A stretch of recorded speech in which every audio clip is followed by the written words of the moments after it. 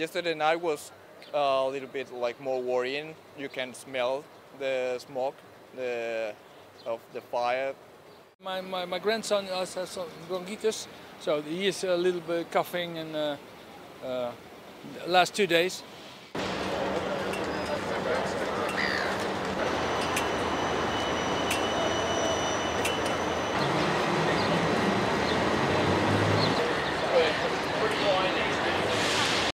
Yeah, for the players, yeah, it should be suspended, but yeah, I'm not happy at all. Like, it was like I asked for the day off for coming to the matches today.